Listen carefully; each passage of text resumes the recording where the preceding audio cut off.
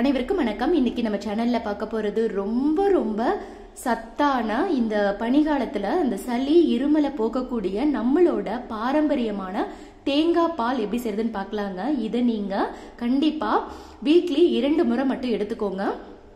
நம்ம எப்பயுமே வந்து பார்த்தீங்கன்னா காலையில் வந்து காஃபி டீ குடிக்கிறதுக்கு பதிலாக வாரத்தில் ரெண்டு நாள் இந்த மாதிரி நீங்கள் ஹெல்த்தியாக அந்த தேங்காய் பால் நீங்கள் காலையில் குடிச்சிட்டு வரும்போது ரொம்ப ரொம்ப நல்லது. சளி இருமலை வந்து அந்த அளவுக்கு இது வந்து கட்டுப்படுத்துங்க. கண்டிப்பாக நீங்கள் இந்த தேங்காய் பாலை வந்து வாரம் இரண்டு முறை ட்ரை பண்ணுங்கள் இப்போ இந்த தேங்காய் பால் எப்படி செய்யறதுன்னு பார்க்கலாங்க. இதுக்கு தேவையான இன்க்ரீடியன்ட்ஸ் என்னென்னு பார்த்துக்கலாங்க. நான் இன்னைக்கு அரை மூடி அளவுக்கு தேங்காவை எடுத்து இந்த மாதிரி நல்லா பல்ல பல்லாக போட்டிருக்கேங்க. நான் தேங்காய் எடுத்தோட அளவு வந்து பார்த்தீங்கன்னா இந்த மூடியில் நான் அரை மூடி ஃபுல்லாக எடுத்திருக்கேன்.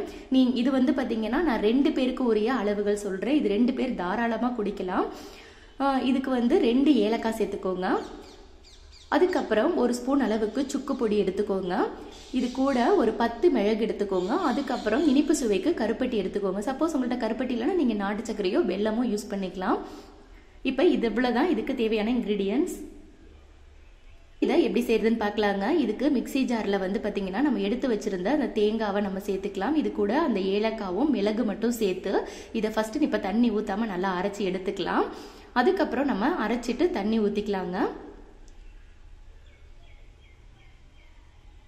இப்போ இதை குறகுறன்னு அரைச்சாச்சு. இப்போ நான் வந்து பார்த்தீங்கன்னா நல்லா ஒன்றரை டம்ளர் அளவுக்கு தண்ணி ஊற்றி நல்லா இதை அரைச்சி எடுத்துக்க போகிறேன் இப்போ பார்த்தீங்கன்னா நல்லா தண்ணி ஊற்றி நல்லா மைய அரைச்சி எடுத்தாச்சு. ரொம்ப தண்ணி ஊற்றிட வேண்டாம். இந்த அளவுக்கு நீங்கள் ஒரு ஒன்றரை டம்ளர் அளவுக்கு தண்ணி ஊற்றி நல்லா நீங்கள் அரைச்சி எடுத்துக்கோங்க. இப்போ நம்ம இதை வடிகட்டிக்கலாங்க. இது வந்து பார்த்தீங்கன்னா திக்கான பாலாக இருக்கணும். இப்போ இதை நம்ம நல்லா வடிகட்டிக்கலாங்க. பாலை வந்து நம்ம நல்லா வடிகட்டியாச்சு. நல்லா திக்காக இருக்குது பாருங்கள் இந்த மாதிரி பக்குவத்தில் இருக்கணும். இது வந்து ரெண்டு பேர் தாராளமாக குடிக்கலாம். இப்போ நம்ம இதை சூடு பண்ணிக்கலாங்க.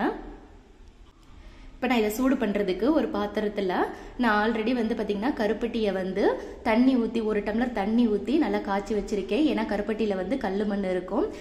இந்த மாதிரி நீங்கள் கா தண்ணியில் கரைச்சிட்டு அதுக்கப்புறம் இந்த மாதிரி வடிகட்டி ஊற்றிக்கோங்க இப்போ இந்த கருப்பட்டி வந்து பார்த்திங்கன்னா நல்லா சூடாகட்டும்.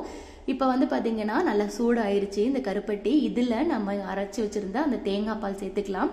தேங்காய் பால் சேர்த்த உடனே அடுப்பை மீடியம் ஃப்ளேமில் வச்சுக்கோங்க. இது வந்து லேசாக சூடாகணும். அதாவது குடிக்கிற பக்குவத்தில் இருக்கணும். ஏன்னா இது நம்ம சளி இருமலுக்கு குடிக்கிறதுனால கொஞ்சம் சூடாக இருந்தால் நல்லாயிருக்கும் இதில் வந்து நான் ஒரு ஸ்பூன் அளவுக்கு சுக்குப்பொடி சேர்த்துருக்கேன். பாருங்க இது லேசா இப்ப சூடாக போகுது. இது வந்து கண்டிப்பா கொதிக்க கூடாது தேங்காய் பால் கொதிச்சிருச்சுன்னா திரிஞ்சு போயிடும் அதனால இந்த மாதிரி ஓரங்கள்ல வந்து நுரக்கட்டி வரும்போதே நீங்க ஸ்டவ் ஆஃப் பண்ணிக்கோங்க. இன்னும் கொஞ்சம் வந்து நுரக்கட்டணும் அப்பதான் நமக்கு குடிக்கிற பக்குவத்துல இருக்குங்க. இப்ப நம்ம ஸ்டவ் ஆஃப் பண்ணிக்கலாம். இந்த அளவுக்கு தான் இருக்கணும். கொதிக்க கூடாது ஓரங்களில் நுர கட்டினதுக்கப்புறம் ஸ்டவ் ஆஃப் பண்ணிவிட்டு நீங்கள் வடிகட்டலாம் வேண்டாம். ஏன்னா நம்ம ஆல்ரெடி தேங்காய் பாலையும் வடிகட்டியாச்சு கருப்பட்டியும் வடிகட்டியாச்சு. நீங்கள் இது சூடானதும் டைரெக்டாக வந்து இந்த மாதிரி நீங்கள் ஒரு கிளாஸில் ஊற்றி நம்ம சர்வ் பண்ணிக்கலாங்க.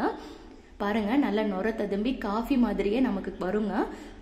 அவ்வளோதான் ரொம்ப ரொம்ப ஹெல்தியான தேங்காய் பால் ரெடி ஆயிருச்சு.